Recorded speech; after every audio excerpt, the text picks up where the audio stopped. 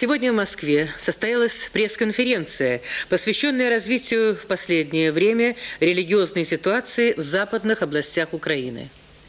Выступившие представители Русской Православной Церкви рассказали о действиях, предпринимаемых представителями Комитета по защите Украинской католической церкви, Украинского народного движения за перестройку и католиками восточного обряда, униатами, в отношении православных верующих Львовской, Тернопольской, Мукачевской и Ивано-Франковской епархий Украинского экзархата.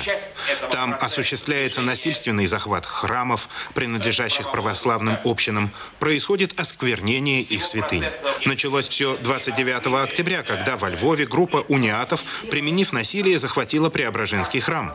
Затем последовал захват ряда других церквей.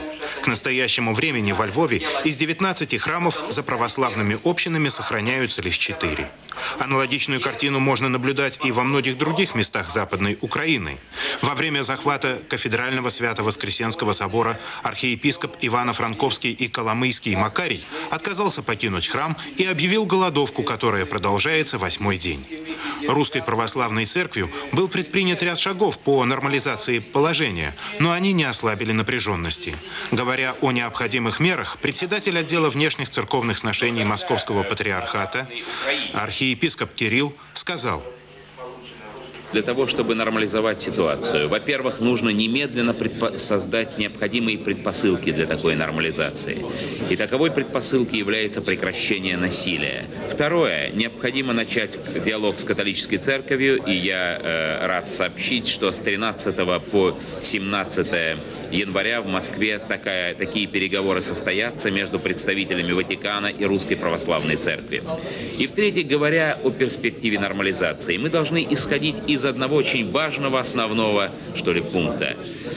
В Советском Союзе должны удовлетворяться права людей, должна реализовываться религиозная свобода на основании тех законов, которые в нашем обществе существуют.